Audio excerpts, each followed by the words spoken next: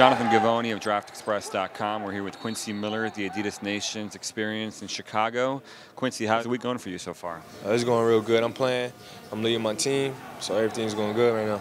How's the summer gone for you? It's kind of been a busy summer so far. You feeling, uh, you know, physically uh, tired at all? Nah, I'm, I'm always. I think I'm always mentally ready, so I ain't ever physically tired.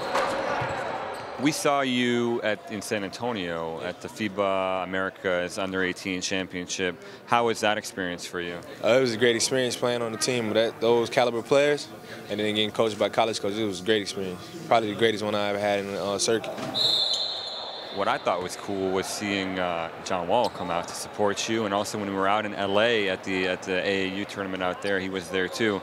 Can you talk about your, your relationship with John a little bit? Uh, I mean, he's just like an older brother to me. He always mentored me, tell me what's right, what's wrong, and then he just tell me like, give me advice on my game and stuff.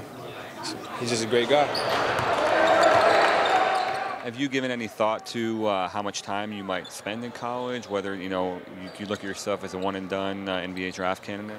Um, whatever, however long it takes me to develop, I'm just trying to develop my game. If it takes four years, I'll be there four years. It don't matter to me.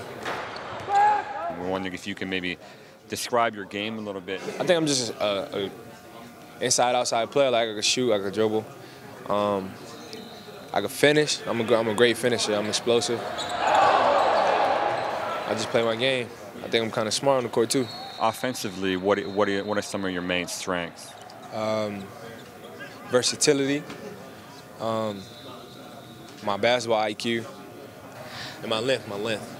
Right. Yeah. Um, in terms of your, your, shooting mechanics, do you think that's something that you're gonna? I mean, you shoot the ball really, really well, mm-hmm. but it's kind of an uh, an unorthodox release. Is yeah, that something? A little release, but I think that's something I can improve on. I'm, I'm a real good learner, so right. It's something I know I'm improving on in college, and probably most likely this high school season.